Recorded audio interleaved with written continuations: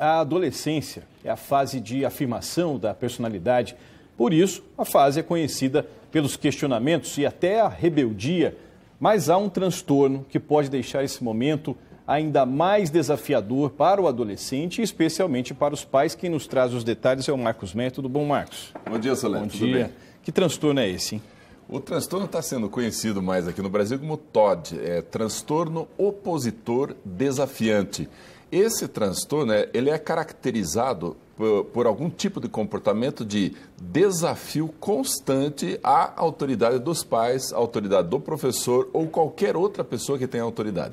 Então a criança tende a desafiar essa autoridade o tempo todo, não é assim de vez em quando, ou quando só um momento em que tira algum privilégio dessa criança, é o tempo todo. E de desobediência, desobediência declarada na cara. Então, se você pede, se você manda alguma coisa, pronto, não vai fazer e não tem jeito fazer.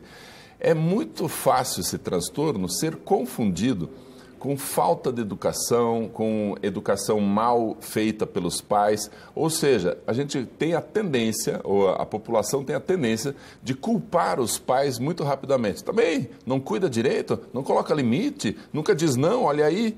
Então é como se os pais fossem culpados. E nesse caso não é. E é aí que a gente tem que ter muito cuidado.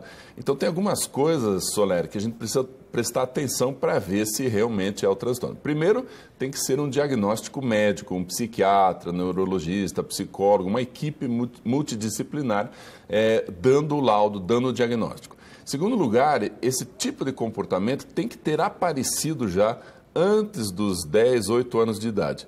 Não é se aparecer só lá na adolescência, aí é mau comportamento mesmo. Tá. Então tem que ter sido já na infância é, ele aparecer e tem que ter durado mais de seis meses. Não é assim, passou um mês de revolta e passou. Não. Durante mais de seis meses, continua apresentando esse desafio e essa desobediência constante. Então, tendo essas características, é melhor levar para um diagnóstico, porque a pessoa, os pais, os professores precisam aprender a lidar com esse tipo de transtorno. Agora, eu estou deduzindo que a partir do que você falou precisa de um, um vamos dizer assim, uma equipe multidisciplinar para se identificar. Uhum. Isso é um diagnóstico difícil de se fazer, né? É difícil porque é, é realmente, é, Soler, é fácil confundir com desobediência, que é algo que você tem que corrigir, tem que conversar com a criança, tem que colocar regras.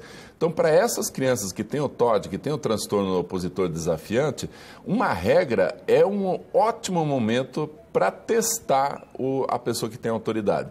Enquanto que para as outras crianças, uma regra é, ai, que saco, né? ai, a, a criança fica desanimada com a inclusão de uma nova regra. E essa criança aceita essa regra como um novo desafio para ela mostrar que não vai obedecer de jeito nenhum. Qualquer criança ou adolescente pode desenvolver esse transtorno ou tem a ver também com a personalidade?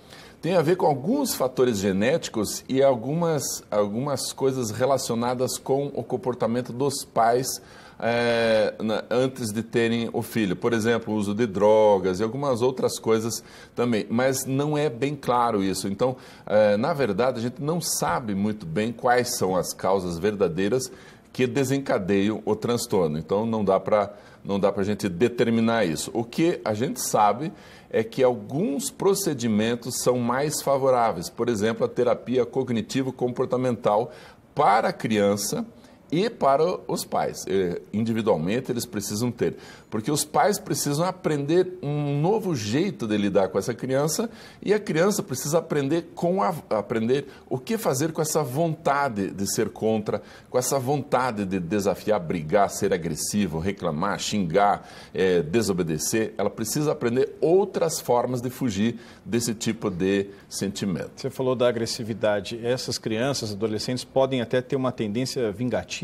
Tem, tem bastante, inclusive. É, elas gostam muito de se vingar e sentem prazer nisso. E só que daí tem um problema. O que, que vai acontecer? Perde-se o número de amigos. As crianças cada vez menos têm amigos, é, diminui muito. Ela, essas crianças também vão mal na escola porque estão o tempo todo brigando. O professor pede um trabalho, não vai fazer, não vai fazer, não porque não gosta da matéria, porque ele quer enfrentar essa ordem que o professor deu, tem que entregar até sexta-feira. Ah, mas não vai mesmo, porque deu a ordem, a ordem ficou muito evidente, ele gostou disso como desafio. Então, se o professor aprende a lidar com essa situação, ele fala de um outro jeito. Olha, gente, seria bem legal se vocês apresentarem o trabalho até sexta-feira e tal. Não parece uma ordem, mas está determinada a data. Então a gente tem que cuidar muito com alguns detalhes em relação a essas crianças. O que pode acontecer com um adolescente desse?